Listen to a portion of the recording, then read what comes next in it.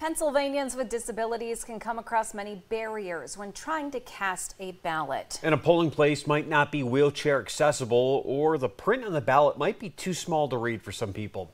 Tonight, our Pennsylvania State Capitol correspondent, Kara Jeffers, is live to talk about your rights to have help and accommodations when casting a ballot. Kara?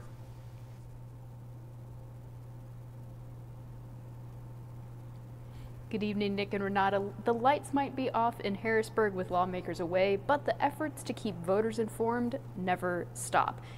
All eligible voters have a right to access the right to vote. That doesn't mean it always happens in every precinct in every county, so making a plan ahead of time can be critical to getting your vote in. Today, disability advocate groups and the Department of Human Services talked about voting rights for handicapped citizens. Voting is a civil right for all U.S. citizens and an important way to speak up. Speakers said that anyone with physical or mental disabilities has the right to access their right to vote. We have the right to an accessible polling place. We have the right to an accessible voting machine. Access might look like a wheelchair ramp, shorter tables, or specialized voting machines. Advocates said taking time to research what accommodations your county has before the election can make the day of voting smoother.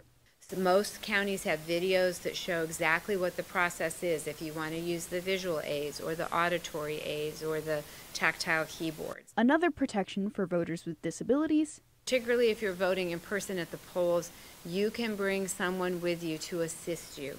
Uh, that is absolutely allowed and something that you might want to take advantage of just to make sure that everything goes smoothly. An assistant might help you get in the polling place. They can read the ballot to you. They might fill in circles or help you with the touchscreen voting machine.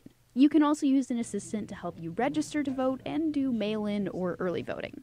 Lastly, advocates today urged all voters to be informed voters think about what is important to you and find out what can what the candidates think about those things.